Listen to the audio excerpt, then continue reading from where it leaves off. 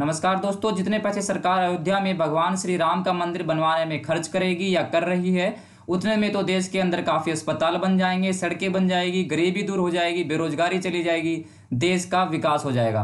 दोस्तों, इस तरह की कुछ बातें आपको आपके आसपास या सोशल मीडिया पर सुनने के लिए मिलती होगी। अगर आप भी ऐसा ही सोच रहे हैं दोस्तों तो आपको इससे थोड़ा आगे जाकर सोचने की ज़रूरत है। भगवान श्री राम का अयोध्या में जो भवन मंदिर बनाने का काम चल रहा है, उससे हमारे देश के लोगों की आस्था तो जुड़ी ही है। साथ में देश के कुछ लोगों का रोज़गार और देश की इकोनॉमी भी उससे जुड़ी हुई है। इन्हीं दोनों चीज़ों के बारे में हम इस वीडियो में चर्चा करेंगे। यहाँ पर मैं आपके सामने कुछ आंकड़े रखने की कोशिश करूँगा, जो आपको मदद करेंगे कि किस तरह से भगवान श्री राम का भव मंदिर भी आने वाले समय में लोगों की आस्था के साथ साथ उनको खुद भी ऊपर उठाने में मदद करेगा। पहले बात करते हैं रोज़गार के बारे में।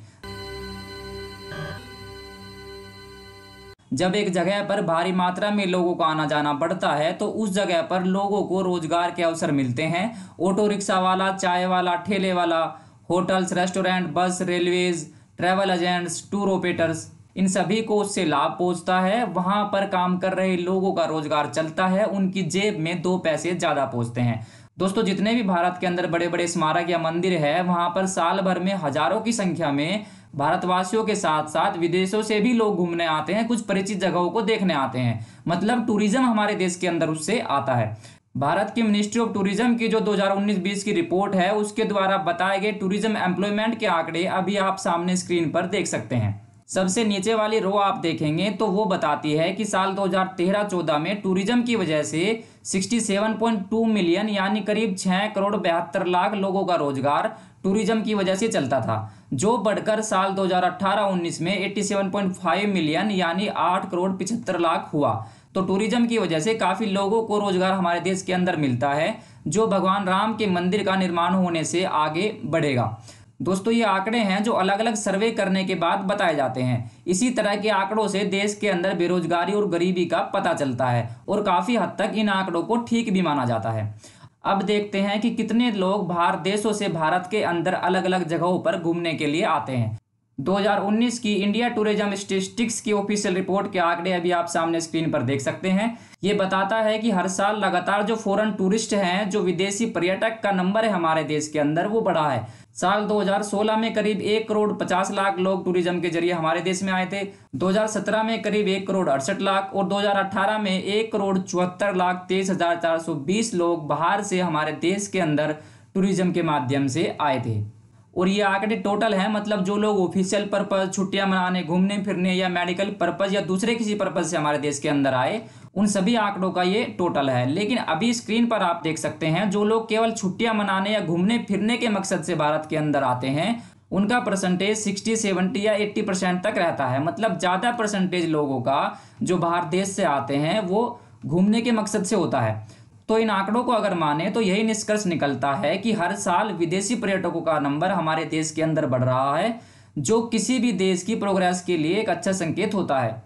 तो दोस्तों, अभी आपने जाना रोज़गार और बाकी आंकड़ों के बारे में। और उम्मीद है कि भगवान श्री राम के मंदिर का निर्माण पूरा होने के बाद इन आंकड़ों में इजाफा देखने के लिए मिलेगा।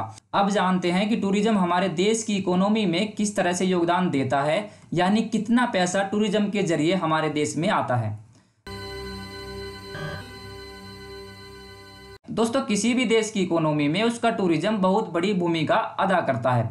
World travel and tourism counselling के अनुसार 2018 के आंकड़ों की अगर बात करें तो भारत ने 16.9 लाख करोड़ रुपए, यानी अपनी जीडीपी का करीब 9.2 परसेंट केवल टूरिज़्म से जनरेट किया था, और साल 2028 तक इसको 32 लाख करोड़ तक लेकर जाने का सरकार का प्लान है।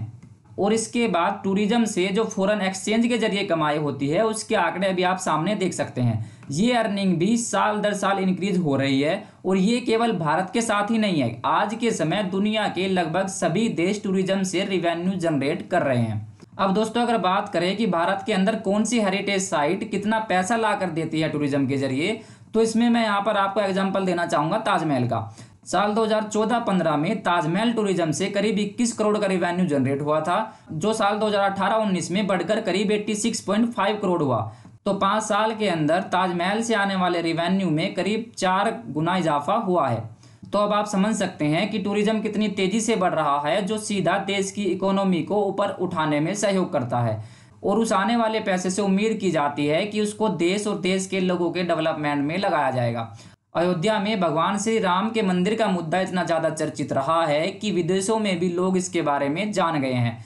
तो उम्मीद है कि भारतवासियों के साथ साथ विदेशों से भी लोग अयोध्या में भगवान राम के मंदिर को देखने के लिए जाएँगे और उसकी सुंदरता का लाभ उठाएँगे।